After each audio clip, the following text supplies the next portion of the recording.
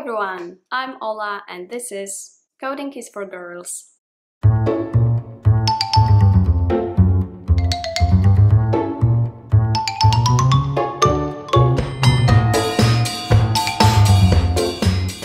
This is my very first video on YouTube. I'm really excited, really, really scared because if my friends and my colleagues will find out and will start to laugh, it might be very funny.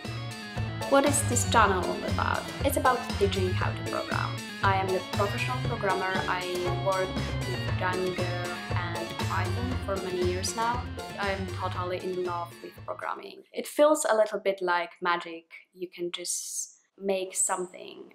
It's all about your imagination, hard work, and a little bit of creativity. I always had to prove myself to almost every single guy that I am really a programmer, I do stuff, and I'm not just by accident on the meetup or event. And it was kind of annoying. And a year ago, together with my friend uh, Ola, we started Django Girls, and this is an amazing thing. We started very small with the, we planned to have just one time workshop, and now, after a year, Django Girls organized more than 100 workshops in, in many cities in the world.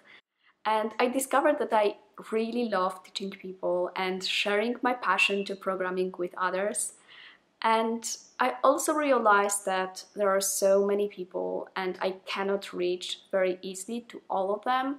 And workshop has limited space and you cannot accommodate more than given number of people. And that's why I decided to start this channel to, to sit down with a camera, with my laptop and show you that programming is fun. So yeah, I hope you will join me with this amazing adventure. If you are ready for this challenge, just subscribe my channel and see you in the next episode where I will explain you how the internet works.